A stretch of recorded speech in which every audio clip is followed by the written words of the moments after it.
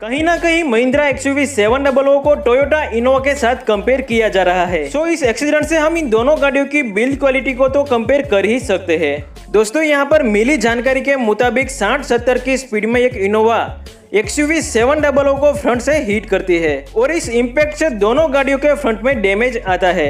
लेकिन लेकिन, यहाँ पर वीडियो में भी आप देख सकते हैं कि Mahindra XUV seven double O की कंपेयर में इनोवा को थोड़ा ज़्यादा ही डैमेज हुआ है। दोस्तों, यहाँ पर आप क्लियरली देख सकते हैं कि इनोवा के फ्रंट में बम्पर, ग्रिल, हेडलाइट और बोनेट तक इम्पैक्ट हुआ है। इसी के साथ इंजन वाले पोर्शन में रेडिएटर भी टूट गया और इंजन ऑयल भी लीक होने लगा था।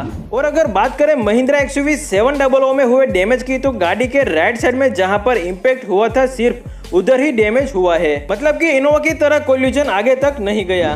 तो अब इस एक्सीडेंट को देखकर ये तो साफ़ मालूम होता है कि महिंद्रा की ये कार बिल्ड क्वालिटी के मामले में अच्छे अच्छों को पछाड़ देती है।